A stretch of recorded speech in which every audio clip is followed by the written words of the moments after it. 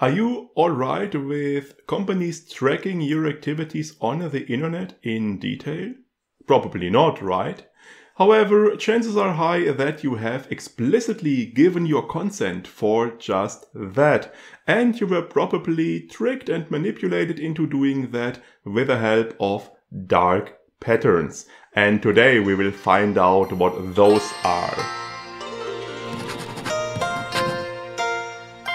Welcome to the Soft Skill channel. My name is Sebastian Jung and today I'd like to talk to you about dark patterns. So what are dark patterns?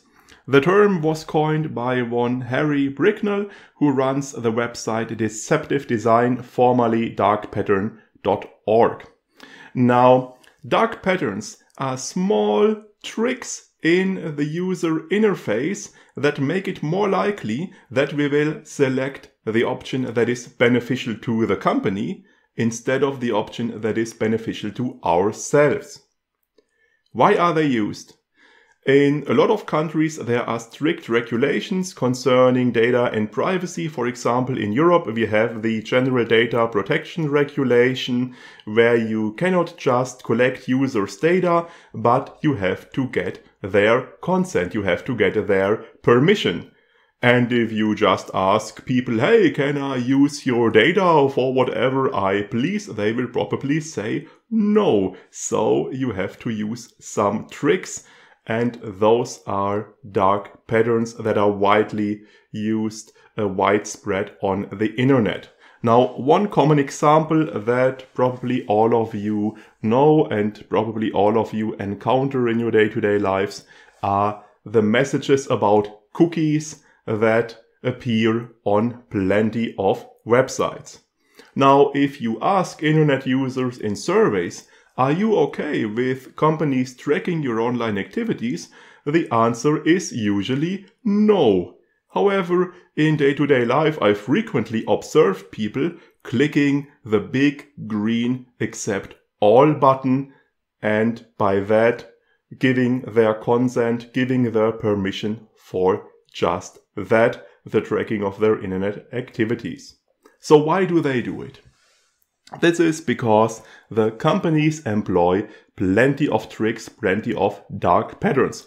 First of all, on some websites, this cookie message, cookie pop-up will block the use of the actual website. Not always, there are plenty that have a small banner at the bottom or at the top, but some websites have a cookie message that will prevent you from using the website uh, until you've answered it. And that is a common trick because if you have to use if you have to ask users about data protection and privacy issues, the best time is probably when they don't want to be bothered, when it's unlikely that they will really take the time to read stuff and to make a conscious decision. So if you display this message when the user actually wants to use the website, see the website, uh, the chance is high that they will just click something to make this pop-up go away. And what will they click? Here, the next trick comes into play. Uh, as you probably have observed, all those cookie messages always have a button uh, like accept all and this button always is in your face, quite eye-catching. It is usually green and big and obvious, while the button uh, or while any other buttons uh, to decline the cookies or whatnot, they are usually gray and laid back. They often have the background color. They are hidden in plain sight. Now, the impression these messages try to convey is that accepting all, accepting all is the default option. You can't go wrong with that. If you don't want to think about it, click that one. You can't go wrong with the default setting. Probably all people click that. It can't be so bad. And this is a dark pattern called deceptive snugness. It can't be so bad if it's the default setting, but yeah, actually you are giving away your personal data. Now, finally, some users might be aware about the importance of protecting their personal data and they might not want to turn on cookies. They might look for the option to decline. Now, the final trick is to make it as difficult for those as possible. So very often you don't just have a decline button next to the accept all button, but you have a button to bring up some kind of settings menu. And often this menu is quite crowded and big and contains lots of settings, lots of information, and you have to search for a little bit, scroll down and whatnot to finally find the button that lets you decline the cookies. So while you can accept all the cookies with just a single click, you have to spend some time and effort and perform several clicks to decline the cookies. And all of that is designed to make people more unlikely to choose the option they want, decline cookies, protect their privacy, and instead choose the option the company wants, accept all cookies.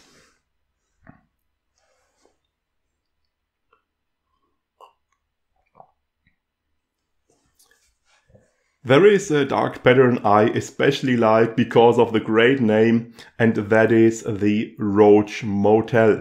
This is actually a brand name from a producer of roach traps um, because they are designed in a way um, that um, roaches are lured in by some smell and once they are inside they get stuck and they can't get out again. And this exactly is why this uh, name is used as a metaphor. It is very easy to get in, but quite difficult to get out. And this is true for a lot of subscription services, especially those, those free trial subscriptions. And a very prominent example for a roach motel was the procedure to cancel your Amazon account.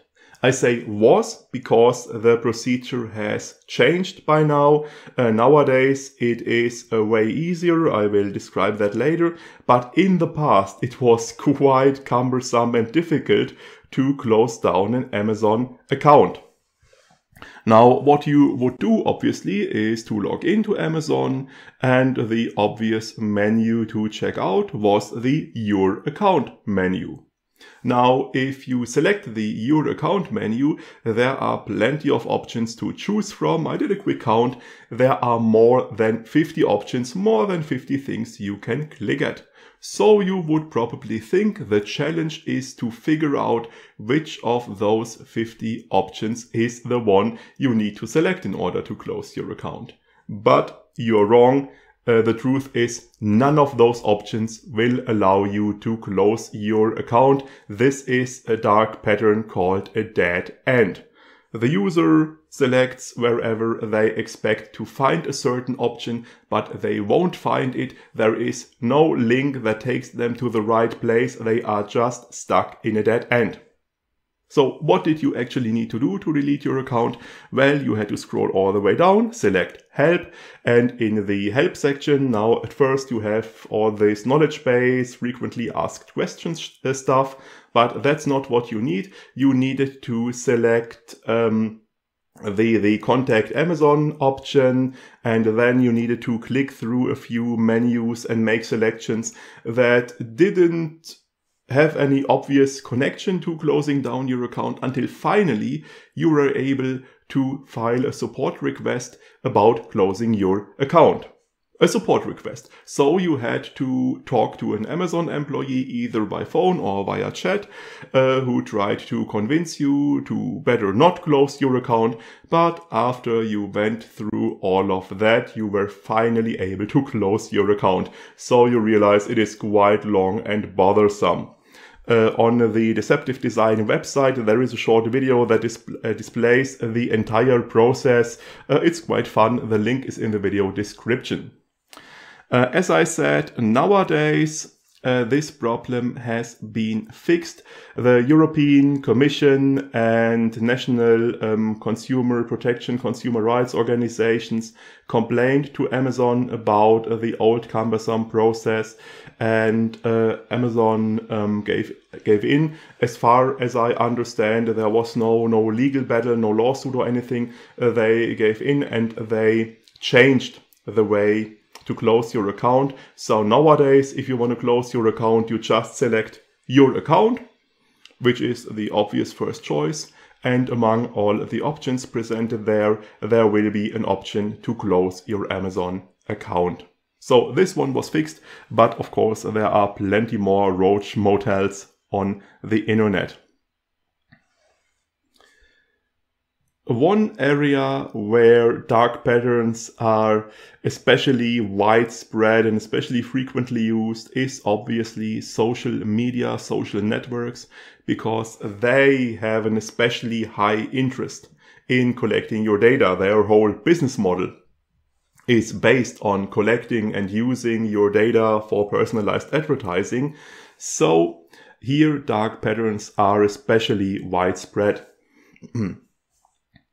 Um, there is an interesting study by the Norwegian Consumer Council from 2018 where they uh, checked examples for privacy related messages from Facebook, Google, and Windows 10. And they checked those messages that were displayed when the European General Data Protection Regulations came into effect. Now, obviously, that required some changes, so some message had to be displayed, and they had a look at those. And as an example, I'd like to show you a message, a part of the messages that were displayed by Facebook at the time. This image is from the study Deceived by Design by the Norwegian Consumer Council, page 23, and the dialog boxes displayed obviously belong to Facebook, belong to the company Meta. Now, as I said, this is a part of the messages displayed when the General Data Protection Regulations came into effect, and it concerns a feature for face recognition. Uh, now, as you can see, there is a lot of text, so there is a small wall of text to read, uh, too long, didn't read kind of stuff. Um, and Again, this is obviously presented at a time where you are not likely to bother because you want to log into Facebook, you want to check your messages and whatnot, want to check your account, and you have to go through all of that and you just want to get rid of it quickly. Now, this begs the question, is it possible to postpone the whole business? It actually was, but the option was quite difficult to find. You had to click the small X in the corner and then there was a misleading message saying, yeah, you can't use Facebook unless you review the stuff. Uh, but uh, so it sounded like you, you had to do it right now, but it was possible to continue and to actually postpone reviewing the data and privacy stuff until later. Yeah, so most people probably uh, dealt with it right away. And once again, the obvious approach is to just click the big and most noticeable button, accept and continue. Now, this big uh, box of text isn't especially helpful if you look at it more closely they, ch they choose two examples for the use of the face recognition technology. The first is they say it will help them recognize, recognize if someone is impersonating me. And second, they say it's a great help for the visually impaired because uh, Facebook can tell them who is on a photo or in a video. Now, obviously, those are two well chosen examples, and Facebook doesn't really inform us of the full extent of that feature. They don't inform us what else it is used for apart from those very positive examples. And I, for my part, I couldn't tell from this message what exactly the technology does. Does it check my photos and videos, the materials I upload, or does it mean that it will check for my face on all kinds of materials? So the message is rather vague and not very helpful. Yeah, and of course, the accept and continue button is quite obvious. Uh, this is again deceptive snugness. This is presented as the default option and the button we actually want, uh, the one that lets us manage our settings, again is uh, in the background color and is pretty much hidden in plain sight. And once again, it is not a simple decline button, but I have to bring up some settings. So again, it takes longer than necessary to choose the privacy friendly option. Now, if I open this settings menu, there is an interesting info screen where a dark pattern called confirmshaming is employed. It means that I'm they, they try to make me feel bad about my choice, make me feel bad about choosing the privacy friendly option. Uh, for example, have a look at the icons the version where I um, turn on and accept the face recognition technology is represented by a lit light bulb, and the one where I decline to use it is represented by a dim light bulb. So it's made to look like the, the lesser, the worst choice. Why are you choosing the bad choice? Are you stupid? And they bring up the two examples from before again, yeah, uh, recognizing impersonation and helping the visually impaired. And again, it's the same, the same approach. Don't you want the extra security against impersonation? Don't you want to help the visually impaired? What a bad person are you? Now, if I nonetheless continue, I finally reach the menu where I can make the actual choice, where I can set the option to have face recognition turn off. And after a total of four clicks and three menus, I can be done with it. Um, while people who just accept uh, whatever Facebook wants just have to perform a single click.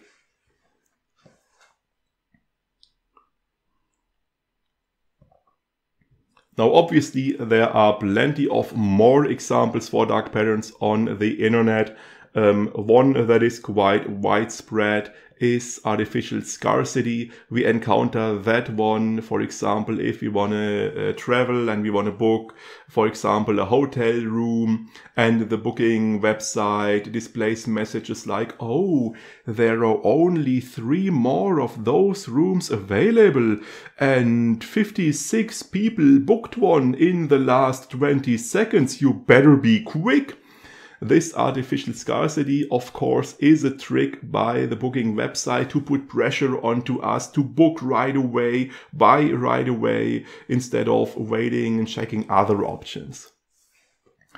Uh, one dark pattern I find especially bothersome, one practice I uh, especially dislike is ads that are disguised as content. For example, let's say you've read an interesting article and they have some recommendations for other articles you might like uh, displayed with a thumbnail and title. And among those are a few that have a very small and very faint light, light gray hint ad or advertising above or below. So those are just ads, but they are presented as being proper articles, hoping you would click on them by accident.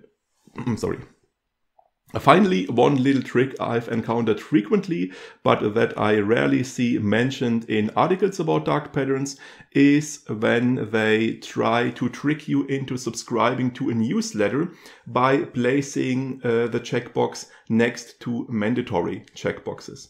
Um, this I've seen frequently on online shops uh, during the checkout process. So you've just um, you've entered your address and you've chosen a payment method and whatnot, and you are on the final page where you can finally be done with it and uh, confirm the order, place the order. However, before you can click the button to place your order, you have to check some boxes. There is a box, a box I agree to the uh, terms of, of business, whatever, uh, of the shop. And obviously this is mandatory. You have to click that. And then there is a box, I agree to the data and privacy um, um, policy, whatnot. And again, this is mandatory. You have to click it. And below that, frequently you have a third box, I want to subscribe to the newsletter, which is not mandatory, but obviously the idea is that people just notice, oh, well, there are mandatory boxes, I have to check them all right. I check all of them so I can finally be done with it and place my order. And again, it's not a very nice trick. If you would like to get some more information about dark patterns, there are a few sources I can especially recommend. You will find them in the video description. First of all, there is a document by the European Data Protection Board published in 2022 called Guidelines on Dark Patterns in Social Media Platforms and Interfaces, where they describe a variety of dark patterns and they describe everyday use cases, such as um, subscribing to a social network and they describe uh, if I want to subscribe to a social network, which dark patterns am I likely to encounter there. Then there is the aforementioned study, Deceived by the Design, by the Norwegian Consumer Council uh, Forbrukerrådet. I'm not sure how to properly pronounce that, didn't find any example for that. Uh, published in 2018, as I mentioned before, they examine the messages displayed that were displayed when the General Data Protection Regulations um, came into effect in Europe for Facebook, Google, and Windows 10. And finally, there is a book I can recommend, Nudge by Richard Thaler and Cass Sunstein. It doesn't specifically deal with dark patterns, but it deals with, let's say, a positive version of that called nudges.